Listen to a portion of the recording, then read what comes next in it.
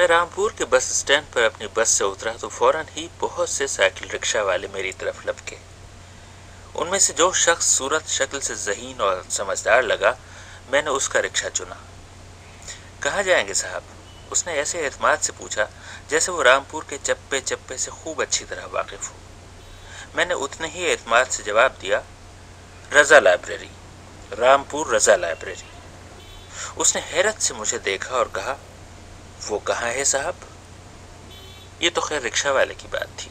وہ اگر مشرق علوم کے بر صغیر کے سب سے بڑے کتب خانوں میں سے اس ممتاز کتب خانے کو نہیں جانتا، تو کوئی بڑی حیرت کی بات نہیں مگر بے خبری کا یہ سلسلہ بہت دور دور تک جاتا ہے۔ میں اودھ سے لے کر دکن تک اردو، فارسی اور عربی کے بہت سے اسکالروں اور محققوں سے ملا۔ ان میں سے دو یا تین کے سوا کسی نے رامپور رضا لائبریری کی شکل تک نہیں دیکھی تھی۔ اس عظیم الشان کتب خانے کا آغاز رامپور کے پہلے والی ریاست نواب فیض اللہ خان کی ذاتی لائبریری سے ہوا۔ یہ پورے دو سو سال پہلے کی بات ہے۔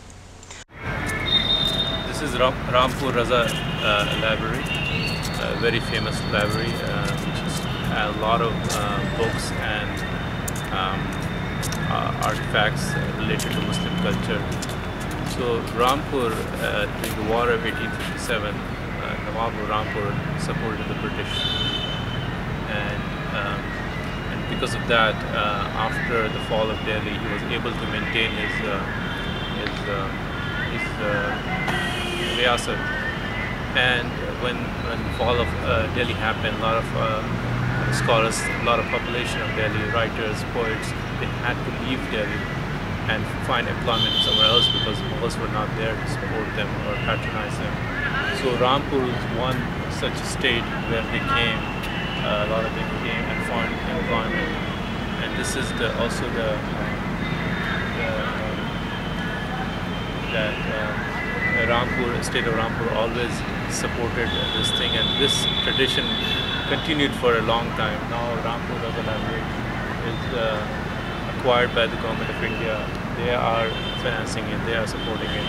But I've noticed that you know, it's, it's very restrictive. It's not letting people come inside in easy manners. So, uh, CISF is there and they're all always kind of harassing people that are coming in and it's, it's not an easy access to all the information that's contained uh, within the, these walls.